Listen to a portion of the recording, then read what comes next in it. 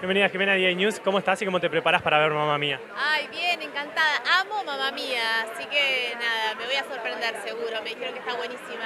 ¿A quién venís a ver principalmente? Y a Flor, a Flor. Así que sí, sí, sí. ¿Cómo, cómo estás vos a nivel personal, laboral? Muy bien, la verdad es muy bien. Estamos disfrutando del éxito de la tarde en Canal 9, así que estamos muy contentos. Tengo un juego para hacerte muy rápido. Cinco preguntas randoms. Por cada letra que vos elijas, yo te hago una pregunta. No hace falta que respondas con la letra que elegiste. Primera letra. Eh, A. A. Aprendizaje más valorado en tu vida.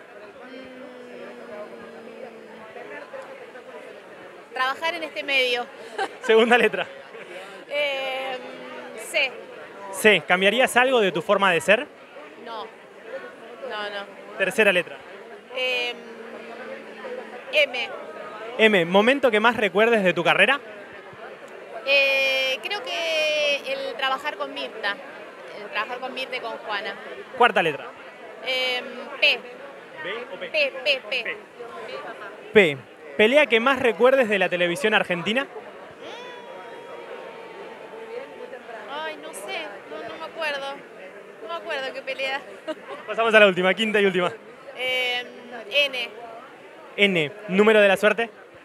Suerte 8. Bien, Muchas gracias y muchos éxitos. Ustedes, gracias.